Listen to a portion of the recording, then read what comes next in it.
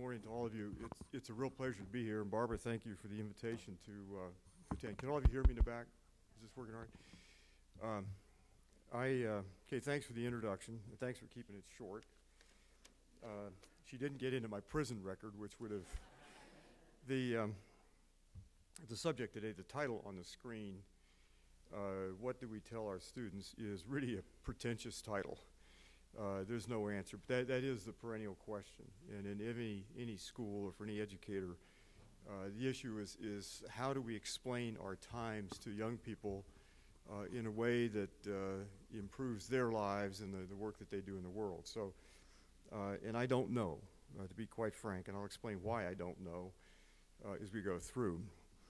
Um, I do worry about this generation. I think there is cause for all of us to worry about this generation of students more than perhaps uh, educators had to worry in the past. Uh, this generation of kids sees, on average, I'm told, something like 5,000 commercial messages per day. There are pop-ups on their uh, computer, there are billboards, there's all kind of signage and so forth, but 5,000 messages per day. This is the largest effort ever to deflect human intelligence uh, to commercial uh, exploitation. They live in a world increasingly without silence, where it's harder to find time to reflect and, and cogitate. Uh, the uh, USA Today yesterday had an article saying that they spend more time in front of little screens, smartphones, than they do sleeping. Uh, Richard Louv has documented the, the fact that they spend less and less time out of doors. And they live in a world where the big numbers are, whatever you make of them, they're, they're changing dramatically. And I'll mention carbon in the uh, atmosphere, but also they live in a world of population explosion, a term that has been around for a long time and probably roundly abused. But uh, there are 7.2 billion of us on Earth presently. There will be uh, before, if they live a normal, what we take to be a normal lifespan, there will be upwards of 10 to 11 billion on the planet, all wishing to live more or less like Americans do presently. So what do, do we tell uh, our students, uh, and how do we say it? And after we've said it, what do we do then? And that's kind of what I'd like to reflect on. Um, I've been reading William Deresiewicz's uh, Excellent Sheep uh, in an article he had in Harper's a month or so back. Uh, really good reading in both counts. Uh, it's about higher education. How many of you have read this? Let me see a show of hands. So maybe a third of you or so. Uh, if you haven't read it, it, it is worth reading, and, and it's a. Uh, his reflections are um, uh, very thoughtful. The Harper's article, which I think is about two months back or maybe three, is really a wonderful meditation on liberal education, what it means at this particular time. So having said that, let me, let me begin. Um, in 1992, uh, the Union of Concerned Scientists in Cambridge uh, pulled together a statement that was made uh, by 1,500 and some scientists, including 102 Nobel laureates. And the words on the screen are uh, what that statement said. And it, it didn't uh, have much more impact than a bug hitting a windshield of a semi at, on the interstate at 75 miles an hour. It, it just didn't deflect anything. Uh, and that has been typical of the U.S. press. When uh, a report came out in 2005 that uh, uh, biological diversity on the planet was in free fall, basically declining rapidly, and that was a global study, that made page eight of the New York Times. Uh, page one was about Terri Schiavo. Do you remember the woman who was uh, declared to be brain dead, and there was a big battle over whether to pull the plug on her or not. But that was page one. That was New York Times, our national newspaper. Uh, page eight was the fact, oh, by the way, life on the planet is deteriorating very rapidly, the ecological substrate uh, which we draw on. Uh, so what do we tell young people? Um, on one hand, you remember Jack Nicholson, A Few Good Men? At uh, one of the great scenes in American cinematography history where uh, Tom Cruise, the young JAG attorney, has got Nicholson on the stage, and Nicholson's the commandant of Marine Corps base. How many of you have seen the movie? Well, then you know Nicholson, and this is, this is really a lousy interpretation, but you can't handle the truth. Remember that? Except he said it a lot better than that. Uh, and there is a viewpoint. Uh, T.S. Eliot, the uh, American British poet, uh, put it in Burnt Norton that humankind can't bear much reality. And then there's the other uh, extreme of this. Uh, Winston Churchill in 1940, bombs falling on London. Um, Churchill doesn't go on BBC to tell the British people, hey, this is really, really a great time to, for urban renewal in London. We can finally build the city that Christopher Wren wanted us to build after the London fire in 1666 or whatever. Uh, he just says very plainly that uh, he has nothing to offer blood and toil and tears and sweat. So these are the two kind of bookends within, within which a communication strategy has to evolve. Uh, if humankind can't bear much reality, then the people who can become kind of an elite. That's uh, uh, Plato's guardians, and that comes through Leo Strauss and our own political theory, history, and that was partly uh, the training that uh, the men, and they were all men, I think, uh, that led us into the Iraq War had about that particular conflict. Whatever your politics are, that was their political philosophy. Some were students of Leo Strauss. And uh, if Churchill's right, on the other hand, you have to mobilize lots of people. You have to summon them to do uh, their duty, which means that they have to see themselves and their lives and their work in this larger perspective. For Churchill, it was the British Empire and Western civilization and so forth. Uh, the, the, the, difference in, this is, and I think one of the difficulties for our time is that for Churchill, it, it's fairly easy to summon people to do their duty and to be heroic if the conflict or if the battle is going to be you know, three or four or five years. If it, if it doesn't take too long, then it's a lot easier to get people to stay focused on conflict. But if it's going to be longer, uh, we lose patience and we get bored and we, we defect uh, from the cause, so to speak. So communication strategies. Um, this is one of my favorite. Can all of you see that? This is one of my favorite cartoons. Uh, it's a Booth, New Yorker cartoon. And Reverend Millstone's sermon, Are We All Prostitutes, had kind of predictable uh, results. And there, there are some things that we, we don't say, or we should not say, or that are impolitic or even inaccurate. Uh, that's one communication strategy, and it's one that uh, I think sometimes is used in various causes, but it is to uh, I think probably the worst of us. Gary Larson, you know, where's Gary Larson when we really need him uh, as a cartoonist? This is Gary Larson's view, and this is another communication strategy, which is simply totally ineffect, ineffective. She's yelling down to her, presumably husband or boat companion, Ernie, to rub his belly. And so that's another way to be ineffective uh, or irrelevant. Uh, Mark Twain put it this way When in doubt, tell the truth. It amazes your friends and confounds your enemies. Uh, so, given, given the numbers of the time, and, and you and I as educators are obliged to tell the truth as best we can see it, but in a way that uh, galvanizes, catalyzes, encourages, inspires the best. But this isn't a normal time. And this is part of the, the, reason. Let me go through just a few slides on climate change. These are things you've all seen. This is from NASA, September 2015. Uh, this is a climate map of uh, the world. And one of the great uh, advances of science in the past uh, hundreds of years actually has been the capacity to take the temperature of the Earth very accurately. And the science is really quite remarkable. So these are increasingly accurate mapping or maps of uh, temperature on planet Earth and the, uh, the conditions on Earth. Um, reduced to sheer numbers, 2015, uh, partly driven by ocean conditions in the uh, Pacific, but uh, 2015 is by and, by and large runaway the hottest year recorded. And the records began about 1880, became increasingly accurate as science got better and better. Now with global satellites, uh, we know with great precision what the temperature of the planet is. And so this year is, uh, here we are in, uh, what, November 5th. Uh, uh, I'll be out in a t-shirt this afternoon, probably walking around the grounds here, as many of you will, if you can escape meetings. And I don't know if you can or not. Uh, is this mandatory? You've got to be in meetings? I'm not encouraging a jailbreak now. I'm not, I'm not doing that. But this is uh, part of the temperature record. And then there's this, and all of you have seen charts like this. I don't want to dwell on this, but I do want to dwell a bit on the implications. We, we now know from ice core records and from uh, an amazing scientific performance of the past 20 years, we now know that uh, carbon dioxide in the atmosphere and temperature, along with uh, oh, other gases like uh, methane, CH4, uh, run basically in tandem.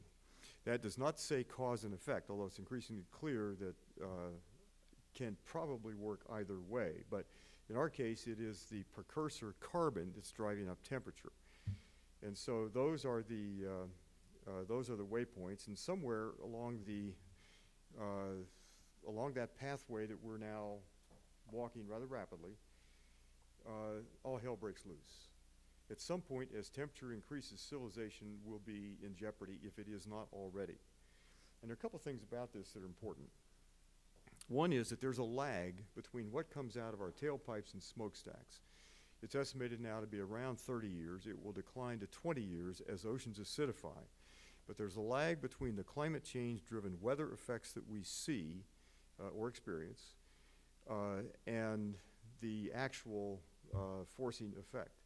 So we're not seeing the, the anomalies we're seeing now. Just came back from California two weeks ago, and the California drought is real, as are the bigger storms in Asia and the ones hitting in the Middle East and so forth. These are unusual events.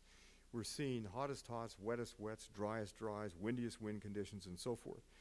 These weren't supposed to happen until mid-century at a forcing level much higher than we are now. We've raised the temperature of the Earth about nine-tenths of a degree centigrade, uh, with another roughly half a degree, give or take, uh, in the pipeline, no matter what we do. And so uh, there is this lag effect, and that's important to recognize. We're not seeing the effects of where we are. We're at about 401 parts per million CO2 in the atmosphere. Uh, but we're still seeing the effects of somewhere around 370, 375. But that gap will decline as oceans acidify and warm because the oceans have been the big thermal anchor. They've been uptaking carbon, and the reason we're not seeing the full effects is that the oceans are not yet saturated uh, with carbon uh, or carbonic acid, but they, they will be before long. That's, that's simply a matter of time. So what does this mean? Well, it doesn't mean as we increase temperature, it doesn't mean that we go up a, a centigrade. And this is not uh, in Fahrenheit, this is centigrade. It doesn't mean just on an average day we go up a degree centigrade or two. It means that. The poles warm, warm faster than mid-latitudes. So if you really want to see the warming, go north or go south. An article just appeared in Proceedings of the National Academy of Sciences. The uh, Antarctic ice sheet is now known to be, or suspected to be, in danger. It has passed or is close to passing a tipping point. No matter what happens, it will melt. And that is at a forcing level now of 300, maybe 70 or 75 parts per million CO2. We're already at 400 and 401. So we, we haven't seen the full effects of this. So for if you're a scientist studying this, you're seeing things happen faster at a larger scale than we predicted even a couple of years ago. Jim Hansen, probably the best climate scientist in the world and one of the most prescient going back decades. Jim Hansen published a long study, 150 some pages, explaining why ice melting, the cryosphere, uh, is melting much faster than had been predicted. And he was saying that it is possible that we would see a 10 foot, foot now, not, uh, not metric scale, we'd see a 10 foot uh, rise in sea levels by mid century or 2060. You do the math. Where does 10 foot put New York City or Boston or Savannah or New Orleans and so forth? Or uh, European cities around the world. There are hundreds, some 40 cities that lie within the danger zone, coastal cities um, and also coastal croplands, rice lands, and so forth. So as temperature increases, our kind of mental map here is that you can turn the thermostat up over here, but nothing else wobbles over here. That's not the world you see uh, on evening news or read about in the New York Times of, of a given day. Uh, that's a world where small changes have very large effects. And for the first time in history now, since we've been on the planet, uh, as an identifiable species over the past, say, what, roughly 100,000 years, the planet is changing dramatically because of human activity. And it will change everything. Naomi Klein's uh, book, This Changes Everything, the title gets it right. So, in thinking about the Earth as a system and us as a kind of an adjunct uh, part of this system, um, change the temperature of the planet, you change everything else. You change growing seasons, storms, ecology, sea levels. You change eventually politics, economics, human health, and so forth.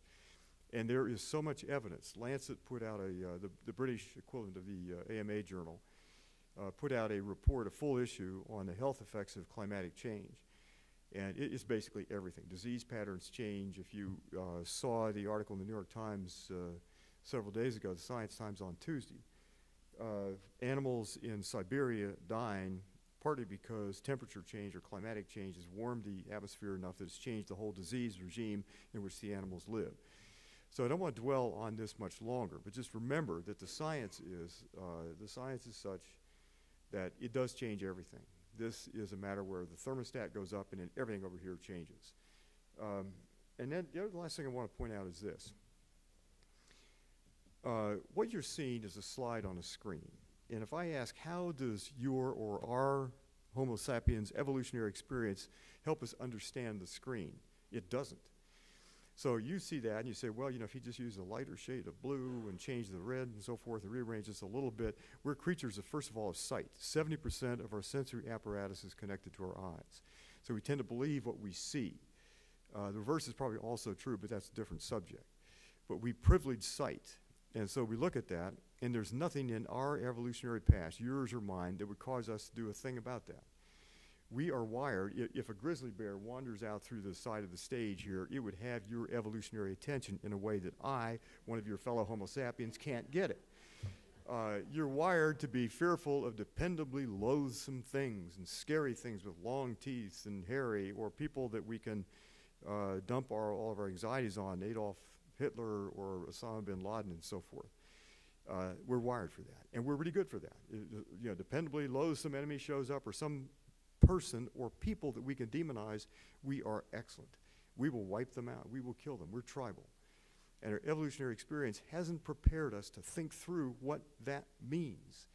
And so if you ask a kid, and I use sometimes use a slide when I talk on college campuses, I give kids four curves, the McDonald's curve, the Coca-Cola swoosh, and the Nike swoosh, and then the Keeling curve. This basically is the Keeling curve, David, named after David Keeling, who began to measure uh, CO2 in the atmosphere in 1957. And they can identify the three. They, they know the McDonald's curve real well, and the Nike swoosh, and the Coca-Cola thing. You know, they, they know those curves. Show them the Keeling curve and say, how many of you understand the Keeling curve? And maybe even at this late hour in 2015, only a couple hands go up. We haven't taught them to understand what is really fearful in this and what we have to think through. We have to understand the Keeling curve and, and those other curves that uh, Elizabeth Kolbert uh, describes uh, uh, in her book, The Sixth Extinction. We have to now think our way through this. And this is why your work and my work as educators is so critically important. Uh, this is a matter now of thinking through better than we ever have our relationship as people to the planet. Um, but uh, again, we're not wired for this. Uh, if, if there is a direct physical threat, we're good because it kicks in the adrenal glands and the fight flight mechanism and all those things that uh, uh, lurk in the reptilian brain uh, which is ours. And by the way, the brain that you and I try to educate was never designed. It just kind of evolved layer by layer. It looks like uh, looks kind of like Mohonk. It was just built in sections. There was there was no plan to it, but it's grand. I mean, it, it works in, a lot of ways. But if you're trying to get from one end of this building to another and, and go up a floor or down a floor, uh, that's pretty tough. Uh, one of the maids told me that if you can't find your way here, they put you on staff. so many of the uh, uh, staff people here are former members of your organization. Uh, so here, here's where here's where we are, and th this came from Climate Interactive, which is one of the great uh, little research organizations now. The December uh, talks in Paris uh, will take us along this trajectory, and so the yellow line is where we're headed, 4.5 degrees centigrade that probably would be fatal to civilization. I don't think we would survive that. Uh, William Rees, the astronomer royal from uh, Cambridge University in England, said that he published a book that had uh, the title, and, and, this is one of the most distinguished scientists in the world, but it, it, the title was Our Final Hour. And he basically said the odds of us as a species making it to 2100 were 50 50. And then in his next book, he said that he opened the book by saying that many of his climate friends wrote him after that book appeared and said, no, no, no, you're way too optimistic. Uh, but that, that probably would be 50 50. That would not be a bad, if you're in some intergalactic betting parlor, uh, that's, that, that's a pretty good uh, estimate. Uh, the 20, uh, the proposal is currently on the deck, uh, would get us maybe 3.5. The head of the UN Climate Agency uh, had it the other day in their report at 2.7 degrees uh, centigrade rise by 2100, and that's a guesstimate.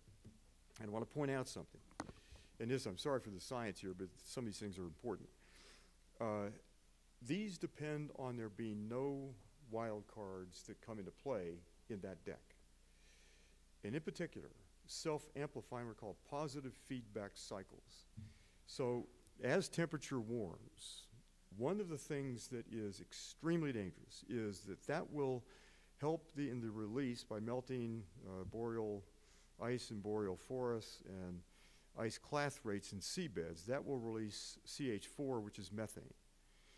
And if you follow this debate, methane is much more potent greenhouse gas than is carbon dioxide. Molecule for molecule, methane will trap 20 to 25 times more heat than does a molecule of CO2. If that comes about, end of game. No way. We don't make it. That means that we would take, because of carbon dioxide, because what we burn in our gas-powered engines and furnaces and so forth, uh, that would take us up a couple of degrees. Uh, if we could hold it at two and a half degrees, that would be that would be good. Uh, but methane would take us to five, six, seven degrees. We won't survive that. There would be nothing much left of what we call civilization. That's the wild card. So uh, th this is the current data. The goal is two degrees centigrade. And I have to explain this two degrees centigrade, the green line here. Um, that has been called the guardrail, that if we go beyond two degrees centigrade warming, we in fact uh, wouldn't survive. Uh, if you, but if you poll climate scientists now and ask, is that really a guardrail? The answer would come back, no, it's not. Uh, it's way too high, that more like a degree and a half, roughly twice where we are presently, a little bit less than twice, but uh, that is probably the best we can hope for. Jim Hansen, and, and there's a, one other little note here, if you get lost in this, we can do some Q&A. Uh, there is the carbon level of the atmosphere now at 401 parts per million. That scientists called the forcing level. And then you have to put an asterisk beside that 401 parts. Because if I take all the other heat trapping gases, like methane and like uh, superheat trapping gases like sulfur hexafluoride, and make those equivalent to carbon dioxide, we're already at somewhere between 450 and 470 parts per million. And then when you see this in science press, it's CO2e, small 2, small e. So we're already where we've never been before. And you can take that record back in the science record, and it's well verified, not really in dispute. You can take that back hundreds of thousands of years, and we weren't at that level. Uh, the last time we were at about 400 parts per million, sea levels were somewhere between 15 and 20 feet higher than they are presently. The difference in part is how rapidly we're forcing the atmosphere and so it isn't just the volume of carbon in the atmosphere, it's the fact that we've given the atmosphere a quick jolt of carbon and other heat trapping gases. So probably enough on this, and you're probably all depressed and getting ready to leave, but let me throw one other curve in this. Um, if you talk to Europeans or uh, people from China or India about this, you don't get much debate about the science. Uh, in this country, uh, it's different. Americans have a very different kind of psychology. We're, quote, optimists, we like optimists, and we, we're problem solvers, and we fix things, and our technology is our crowning jewel in our culture. But the fact is that the problem I've been describing isn't solvable by any known means as we customarily use that word. It doesn't really apply. If you have a uh, broken carburetor on a Ford pickup truck, which I had frequently, uh, that's fixable. And we're really good at mechanical things. And we're good at a lot of technological things now involving electronics and so forth. Carbon in the atmosphere isn't solvable in the same way. There are no known means to pull out carbon out of the atmosphere despite a good bit of effort to do that. And you think of what has to happen. It's got to be itself carbon neutral. It's got to be deployed at a pace that really, and scale that really affects the problem, which is roughly 9 billion tons of new carbon in the atmosphere every year. You can just tick it off every year, 9 billion more tons. And that rate has actually been going up, although it's stabilized last year. So what this means is this isn't a quick crisis. And the word crisis implies, when uh, James Howard Kunstler used uh, the phrase the long emergency, which I'm using in the subtitle of my next book. This is a long emergency. Susan Solomon, one of the great climate scientists of our time, recorded uh, in the fourth uh, International uh, Panel on Climate Change report, or Intergovernmental Panel on Climate Change report, that if we were to stop emitting carbon today, uh, we would have a thousand years minimum before ecosystems would restabilize at a new equilibrium. In the meantime, over that thousand years, rising temperatures, rising seas, changing ecologies, changing disease patterns, and so forth. That's what we've got. We dug ourselves a very, during this fossil fuel bonfire, we dug ourselves a very deep hole. Now we have to figure out how to get out of it. I will explain. I think that we can get out of it. But let there be no mistake. This, this is the science. Uh, this is not David Orr's opinion. This, in fact, is the science. Uh, what I've described is roughly a consensus among 99% plus of the people who study climate for a living and have to live by the rigors of peer review, fact, data, logic, and evidence. And so we've gotten all bollocksed up about this. People say, I've had people in audiences say, I don't believe in climate change. My, my only answer is, look, uh, the word belief doesn't work. Uh, if you apply that to Moses, Jesus, and Buddha, that works. That, that's a matter of belief. But nobody comes up to you and says, you know, I really don't believe in the laws of gravity. Uh, and if they do, there's a quick, easy test. Come to the top of the uh, tower here at Mohonk and, and, let's check it out. You jump first. Um, the word belief doesn't fit. This is physics and it's chemistry and it's verifiable and it lives in this world of science, and there has never been uh, a greater gap between the science on one side of this chasm and public policy on the other. We've known about climate change. Uh, the first warning given by U.S. President was Lyndon Johnson in 1965. Uh, I worked for Jimmy Carter's transition team in, in uh, 1976, and uh, Jimmy Carter, the, uh, Governor Carter at that time, wanted a uh, report on the most serious issue his administration would face. And it was, I put together, I was charged with doing this. We put together a panel that included people like Amory Lovins and some of the great climate scientists and environmental thinkers of the time. And uh, we, we knew it then. And the warnings have gotten increasingly stringent. You saw one, the, the uh, World Scientist Warning to Humankind, that's just one of many. But there, there's a line in Nicole Krauss' book, uh, The History of Love, in which she says, we, there were rumors of unfathomable things. And because we couldn't fathom them, we didn't believe them until it was too late and we had no choice. She was describing villagers in Poland prior to the Nazi onslaught, and we are much in the same boat. Now we've got to play catch up. Uh, one final slide on this. Uh, if I was going to give a really depressing presentation, I would go around this. This is an article, a graphic from an article that appeared in Nature magazine uh, done by a group of uh, European climate scientists, and they, they survey the number of things. If you, if you imagine a, an airplane cockpit, and the cockpit has its gauges and dials, and you would include all the things around the perimeter here, ocean acidification and species extinction and climate change and so forth. So those dials would have a danger zone. So what they did here is very simply put this out. Uh, this is the safe space for hum humankind as they describe it. We're already out of the danger zone and moving out in all of these areas. And there's some that are simply unknown. We don't know. Uh, we don't survey a lot of these things, so we don't uh, have accurate data. But if you ask and the question here with this graphic is just a very big question. What is the health of the planet? Short answer is not good. And there's not much reason for optimism across any of these things. The great work of this generation, yours and mine and all the students that are in our schools, is to turn this situation around. Now, one piece of good news is a prelude to what follows. This is happening. Worldwide, there is a global, if I stood here uh, 10 years ago or so when I talked to you all, this group, uh, some years back, um, if I said there was a worldwide movement, I would have been blowing smoke. But there, in fact, is a worldwide movement. People are galvanized and organized all across uh, the earth. Every, you can't go to a country where there's not an environmental movement or a climate movement or movement toward energy efficiency. A couple other thoughts here. What do you tell, what do we tell young people about our politics? We now know that ExxonMobil knew exactly what they were doing uh, as early as 1977 from their own scientists. They dedicated, or they had uh, uh, mandated a group of scientists in the organization to study climate change and the effects of burning their primary product, which is oil and gas and so forth. They knew as early as 1977. This uh, is an ad I particularly like because this is way back when they were called ESSO, remember? Each day, Humble supplies enough energy to melt 7 million tons of glacier. And by God, they're doing it. They have lived up to their. And then what are we telling about U.S. politics now?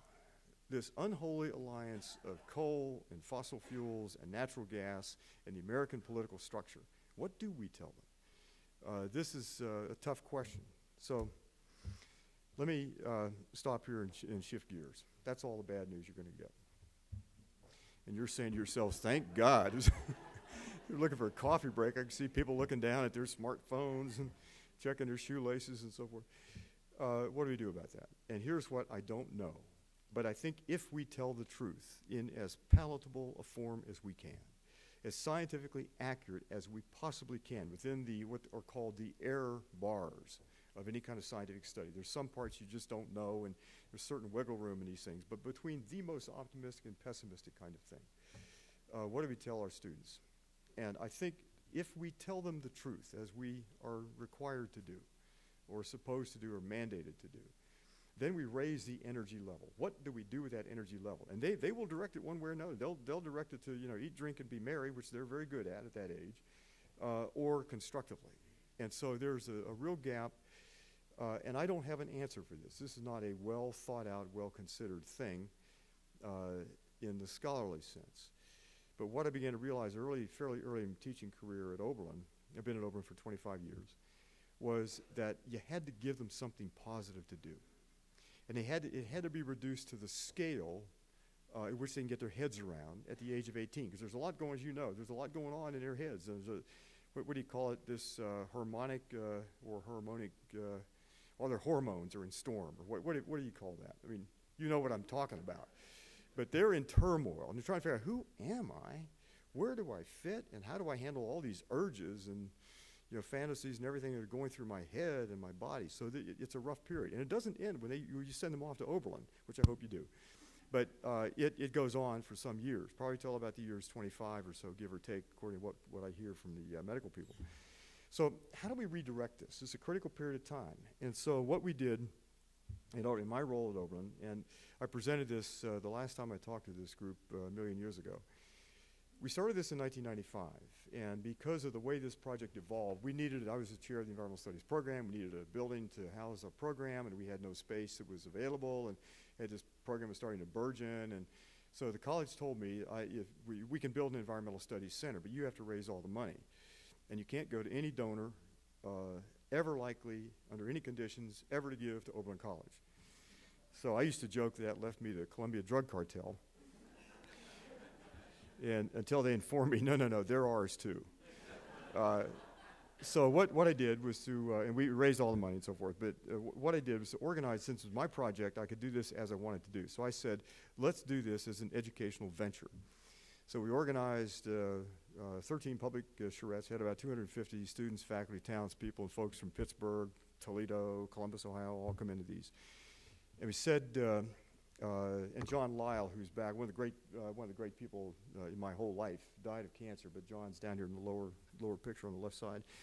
John was the facilitator for those charrettes, and we, we began asking, what kind of building do you want to be educated in? What's it look like? What's it feel like? And it was a long, the first charrette was really awkward because uh, we don't ask those kind of questions. Development, in particular on college campuses, just sort of happens. Uh, and people get very angry about it if it blocks their view or whatever, but it just sort of happens. We were saying, how do you want it to happen? What, what building, what statement do you want to make in this building? Where do you want to learn? And what's the connection between architecture and pedagogy? And there's a pretty intimate connection between them. Uh, we live and work in spaces that are pretty anonymous. They don't tell any story. Where did the materials come from?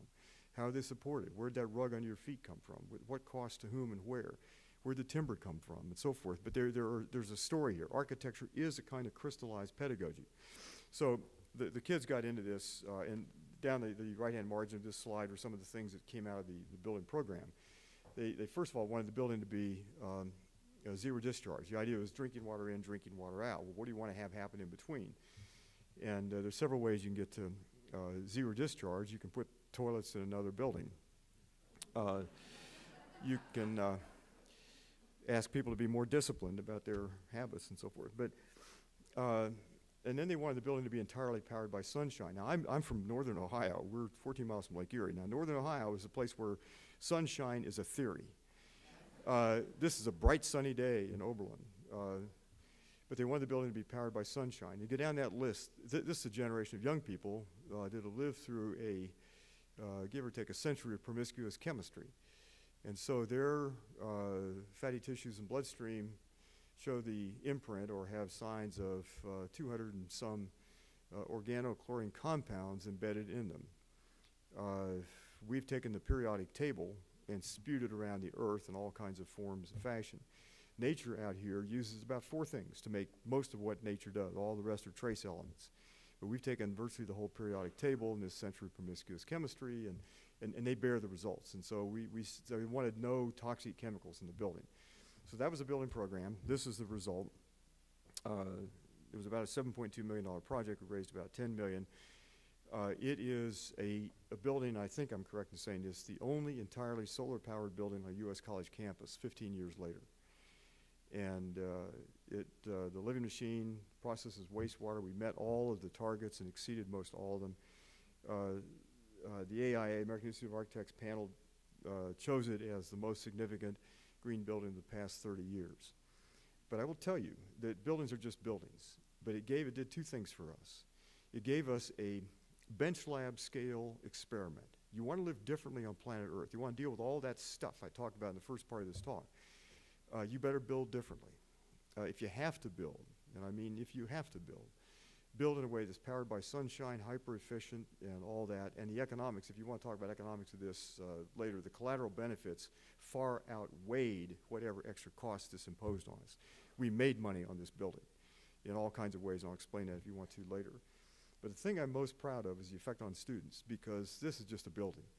But this was a laboratory in applied hope. How do I take this giant problem of global warming, all the things going wrong in the world, how do I heal one little acre and a quarter site with a 14,200 square foot building? Can I do that? And the answer was yes, we can. So this galvanized uh, at our uh, 10th reunion on this building, uh, a number of kids came back that had worked on this project. They had started companies, a development company, uh, a high performance building monitoring company out in California now that's hyper successful. And you went down this list. They've been galvanized to do things by in being involved in the making of that building.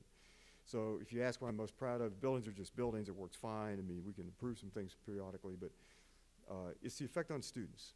They needed to see hope in a way that they could use in their lives. Uh, and at 70% of our sensory apparatus connected to our, our sight was, is really important. Kick the tires, feel it, touch it, see it. It changes lots of other things. This is the back shot. All the landscape around the building is managed by students. They do the um, living machine, interior shot of the building, but again, it's, it's just a building. Run the film fast forward. Uh, we started the Oberlin project. I want to say just a few things about this. This was an attempt, as uh, Kate mentioned, to um, take everything you've ever heard about the word sustainability. It's a big, vague word. Nobody really knows what it means. And nobody knows what it certainly would mean if, in fact, it's a thousand year journey, uh, which, which I think it's going to be. Uh, but it's a long term challenge. And we're never going to quite get there, but it's something you have to strive for. It's like truth and beauty and justice and so forth. It's one of these things out there you have to strive for. But we have to figure out if you Sustainability isn't what you strive for first. It's make it clean, green, safe, fair, decent. It'll be sustainable. So it, it's the end of that equation. It's the right. It's the thing that appears on the right-hand side of the equal marks. So the Oberlin Project was an attempt to, or it's an ongoing organization. We've now spent about $106 million of investment money and other monies to change Oberlin to be a model of sustainability. And the goal was to have 1,000 students from the college work on this, this effort. So working with people who are uh, engineers and city planners and architects and so forth. And Maya Lin's on campus tomorrow to help us with some of the landscape. She's doing the landscape uh, part of the project. She's the one, if you don't know the name, that did the Vietnam Memorial as a student uh, uh undergraduate project.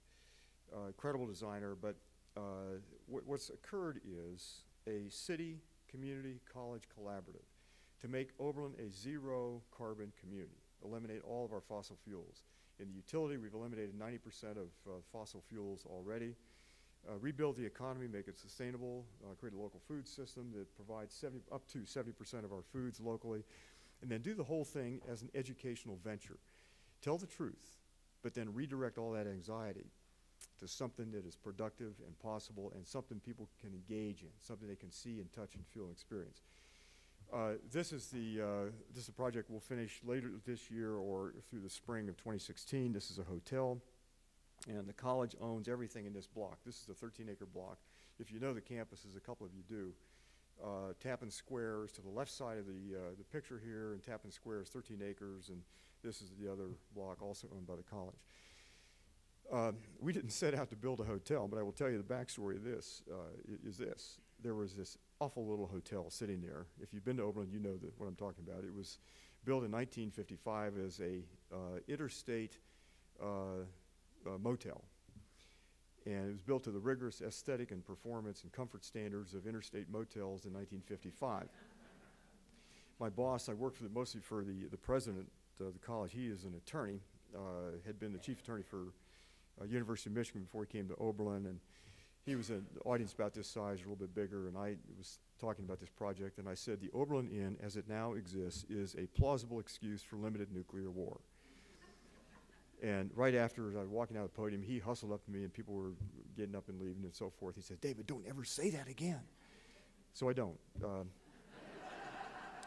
uh, but the, the point of this i- is this, and, and what this does for us is a couple things. And the ba- by the way, the backstory is that the Oberlin trustees met uh, for their fall board meeting. Do you remember the bedbug infestation we had, what, seven years ago or so? Up and down the East Coast, it hit New York City hard. Well, they got out to Oberlin. And uh, they infested the, uh, the hotel the weekend of the board meeting. And I was on a plane uh, going to San Francisco on Monday morning with one of the board members, and uh, he claimed to have been bitten 37 times.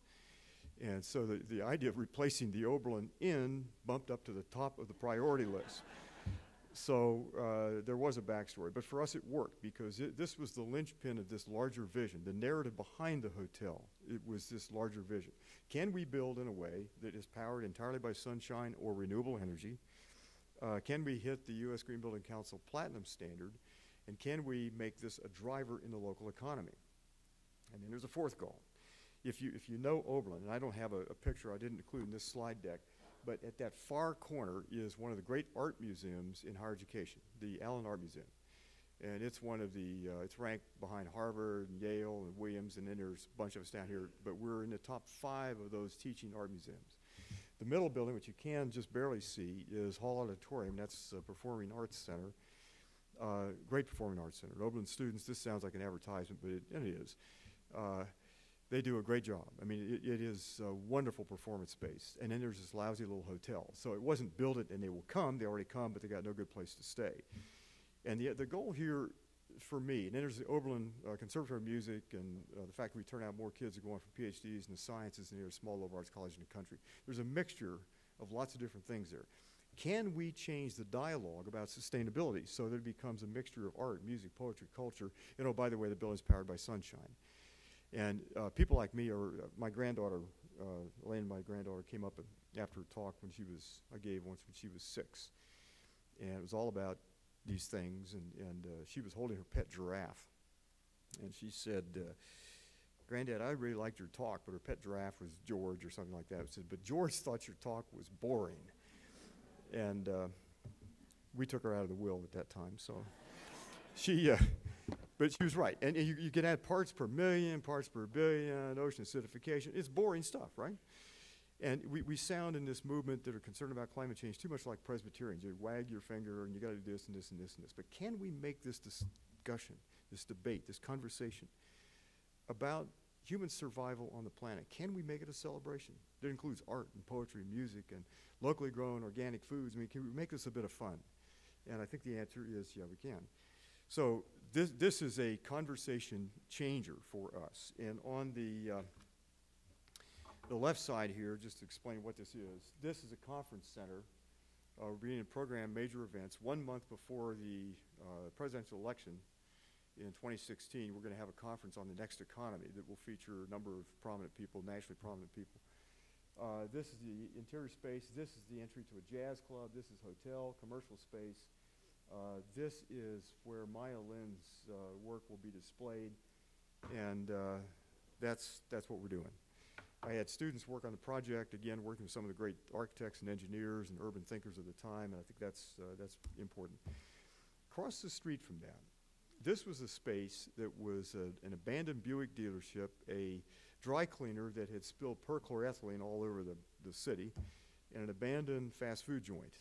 Three of my former students bought this uh, space and turned it into 33 condominiums, commercial space, and this anchors the downtown economy. It's, it was great.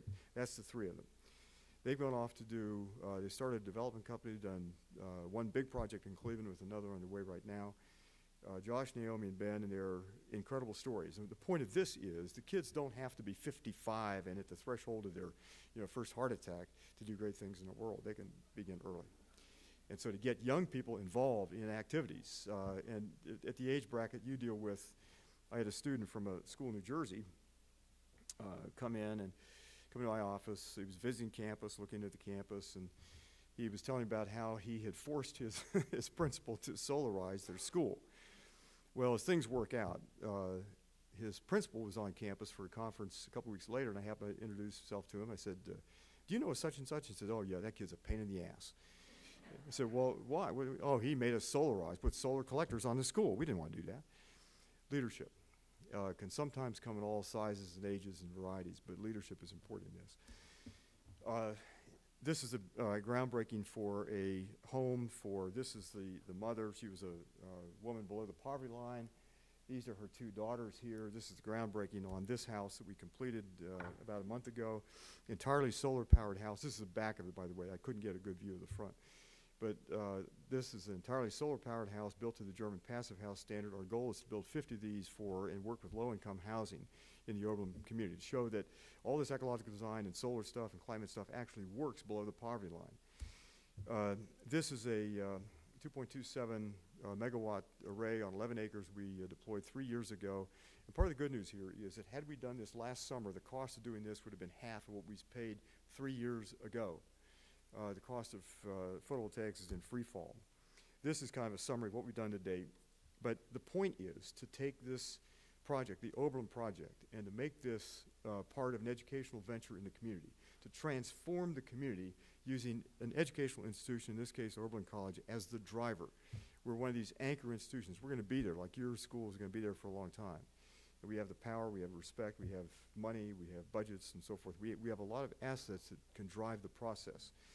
Um, the next step up is to, we're part of the, the Lake Erie Crescent, so the next project that we're working on right now is, we're calling it the Lake Erie Crescent Project. This is Flint, Michigan up here, uh, where the mayor of the city told me that their tax base falls twenty percent per year. That's a city in financial free fall. Detroit, you've heard about Toledo and so forth, all the way over to Youngstown, Ohio here. Youngstown, Ohio, in nineteen forty-one, was the wealthiest city per capita in the United States, Youngstown, Ohio. If you go there now, it's like the German army marched through in 1943 and it's never been rebuilt since. It is decimated, but the same is largely true of parts of Cleveland, a good bit of Toledo and Detroit you've all heard about, it's always in the news, and then there's Flint, Michigan. So the goal here is again to use, very quickly, do the same thing but at a larger scale. Take the buying power and investing power of the 25 colleges and universities, University of Michigan, Michigan State, uh, Case Western Reserve, uh, University of Toledo, and begin to harness that buying and investing power to begin to change the region. Keep the money locally.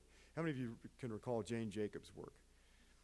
Uh, all right, the rest of you need to read Jane Jacobs. Uh, that's what professors do. We, we assign reading and we give tests, so you'll get a test in the mail. Uh, she thought, she said that national economies don't grow. What grows are city regions. And they grow by a process that you described as import substitution. So if you need it, buy it locally. And by local, if you, if you build it, make it, process it, service it, repair it locally, buy it locally. Keep your money within the local economy and take advantage of the multiplier effect. So our next issue is to begin to um, pull together a group of uh, CFOs and CIOs and begin to shift money that's already in play uh, for food and for energy and infrastructure back into the local economy. Uh, this is, uh, these are kind of other anchor institutions we're starting conversations with, but these are our target areas throughout that uh, Lake Erie Crescent uh, economy. Um, The collateral benefits of doing this resemble some of those that we, we experienced on the Lewis Center. It lowers crime rates, it creates local employment, it lowers carbon emissions, it cleans up hair, uh, air, improves health, and so forth. Um, now, what do you tell your students? Um, first of all, why tell them anything? And the point of uh, I'd like to make with this slide is very simply that this disorder outside started with a prior disorder in how we think and what we think about. And so that puts it into our bailiwick. And then this is everything that happens in your curriculum and in mine, everything is in part education about the environment. We teach people they're part of or a part from. And it's in every course, it's in every department, it's in every discipline. So, what do you teach them? Well, quick list teach them to be ecologically competent. And by that, one way to describe this is get them to pay attention to the slow things and give them the analytical skills necessary to understand those slow variables because they do become the headlines.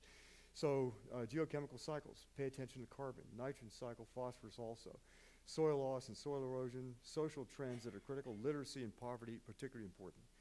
And uh, if I put uh, 400 people uh, in this room, which we could easily do, uh, they would have, the right 400 people would have more net wealth than the bottom 185 million Americans. If you put 85 people in this room worldwide, you'd have, they would have more wealth than the bottom 3.7 billion people on the planet. Um, ecological competence. This is the front page of the New Yorker uh, years back. Uh, this is taken from the tale of the jinn, the old Islamic tale where humankind is in the dock on trial. The question for the animals given voice and sentient is uh, should humans survive on planet Earth? Teach them to be defenders of humankind. Understand what case can be made for us. So, this big word sustainability. Uh, other than the fact we want to be sustained, why do we deserve to be sustained? And if we better knew why we deserve to be sustained, I think we'd know better how to actually go about being sustained. Get them involved in design. Uh, everything that they do is a design effort. But design is different. Ecological design is different than design. Ecological design is about making things that fit in the culture. Design failures, see the world as design. What ails us isn't a matter of evil. It, nobody intended this necessarily. But see this as design failures so that we spend about 3,200 pounds of stuff to put one product, one pound of product on the store shelf. Design failure. We know better. We know how to do that better. Uh, we put a calorie of food on the plate here at Mohonk or about anywhere, but we expend somewhere between 11 and 70 calories of fossil fuel energy to get it to the plate. That's a design failure. We know how to do better than that. In security, I've asked students uh, for years if they were given $15,000 a second, how would they propose to make us secure at half or a third or a quarter of the cost of that 1.3 trillion that we spend on something we call defense? Design principles, you all know them. Uh, these are the ones that came out of the Hanover World's Fair 20 years ago, uh, but it's very simple. Think of whole systems powered by sunshine, protect diversity, pay the whole cost of things. But, but we know these things. Get them involved in design revolution. If they go into economics and business, get them to remember that we pay for sustainability whether you get it or not. Uh, but you pay in different currencies. You pay in terms of lost lives and health and security and environment and social stability and so forth. Get them to be problem solvers, but not the old way, but a new way that solves what Wendell Berry, the great writer, calls solving for pattern. Don't cause new problems. Get them to see the problem of unsustainability or the issues of sustainability as systemic problems. Make them systems thinkers to see patterns that connect all the things around us, in Gregory Bateson's words. Make them silo busters. Help them connect these disparate disciplines and courses. So think across lines. What should people trained in economics know about ecology or about ethics or about anything else? And get them to be uh, partners in this, what Edmund Burke, the founder of modern conservatism, in this wonderful book called Reflections on the Revolution in France, written in 1790, described as this intergenerational transfer. He was the founder of modern conservatism, yet he was saying that we in the current generation are just trustees, midway between a distant past and a distant future. Our job is to pass on that inheritance, that entailed inheritance that he described, from one generation to the next. That included culture, religion, government, all the things that we value in life, but also the ecological requisites on which those rest. And then get them to value words. I've never seen an age, I couldn't recall an age when language was more abundant but used with less care and precision. This is an age in which language, how did the word conservatism apply to people willing to run the risk of the health of the planet and ignore climate change? That isn't conservative. I don't know what your politics are and I don't care. That is a terrible use of that word. That is a very good word. And how did the word liberal become demonized? Those are flip sides of the same coin. And uh, more said on that later if you want. But that's, that is careless use of language. Teach them to be lovers of language. And then finally, teach them that hope is a verb with its sleeves rolled up. If they are optimistic or if you are optimistic, they or you don't know enough. But if you go into despair, that's a sin, don't go there. And that's a self fulfilling prophecy. But if you're at either of those extremes, you won't do anything. You will only act. They will only act if they're hopeful. They have to act. That's required. So what's it look like? Well, it looks like this. The price of photovoltaics and energy falling is in free fall. If we had done that PV array again uh, last year, it would have been half of what we paid three years before. Renewable energy is breaking out all over. It's starting at a low base, but think of where cell phones were 25 years ago. Uh, this is top of Walmart. Businesses beginning to put money, whatever you think of Walmart, uh, businesses are beginning to buy renewable energy, as is the U.S. military, the two largest buyers of photovoltaic cells solar photovoltaic capacity, solar electric systems going up uh, uh, so dramatically. The same is true with wind power. Uh, the same is true with plug-in vehicles. All the curves, or the right curves, are actually going up dramatically. Pope Francis changed the dialogue, I hope, in this country and worldwide. Uh, it hasn't quite dented some parts of the U.S. yet, but it will. I think the force of Pope Francis' message is incredible. The divest and reinvest movement is alive and well. This happens to be a picture of Harvard, but it's breaking out on schools everywhere, including Oberlin. This is a group that won a court case that grants young people standing on issues of climate change. This is a group in uh, The Hague in the Netherlands that won a similar case against their government. This is a group a couple weeks ago out in California, Sonoma State, that have uh, a group of kids that just graduated from Sonoma State that have started a, their own farm enterprise. It's happening all over. And finally, let me say this. What do they do with their lives? Uh, well, that, that's kind of the big question, isn't it? We talk a lot about careers, and uh, they encourage them not to have a career first, have a life first, which means get a calling, find out why they're on the earth, what really satisfies them, what gives them joy in life, and get them involved in it. Unfortunately, this is not necessarily what's happening in higher education for lots of reasons. This is uh, data that's uh, a few years old, but it's roughly the same at the present. This is uh, kids wanting to be well off financially. This number's gone up. This number develop a meaningful philosophy of life. This number's gone down. Part of that reflects the fact that they, on average, now graduate with a fairly steep lien on future income. They graduate from colleges in debt. That should not be. Every kid that comes out, colleges ought to be free of charge. Uh, higher education ought to be free of charge. But I give every American a sabbatical leave. I don't care what their occupation, if they go to a, take a class in a local college. Um, Thomas Merton, who Pope Francis describes as one of the four Americans uh, that he highlighted, uh, said this. Uh, he was asked after he wrote his best selling memoirs, asked by Columbia, his alma mater, to describe the roots of his success. And this, is in, this was penned in the letter he wrote back to Columbia University. He said, Tell Columbia students to be anything like be madmen, drunks, and bastards of every shape and form. He was a, a monk. But at all costs, avoid one thing success. And I think that's the message of William Deresiewicz's book. Uh, I think that's a message, one of the messages I want to leave with you. This is too serious a time. Success is always defined in the rearview mirror. It's by a standard that was set a long time ago. In our culture, it's been money and fame and, and celebrity. Now we need a generation of young people to come into this world that understand a different way to be successful. It is to help the world through this transitional time. That's their great work. And the careers, uh, there are so many, I wouldn't even begin to name them, but here's a short list. You can make a much longer list of this. They can find a place where words count. If they want to make money, fine. Do it the way Ray Anderson at Interface Carpet Corporation did it. Do it the right way. Uh, but whatever the career that they want to pursue, and it begins to emerge in, in students in your schools, make sure that that career includes the biggest issues on the human agenda.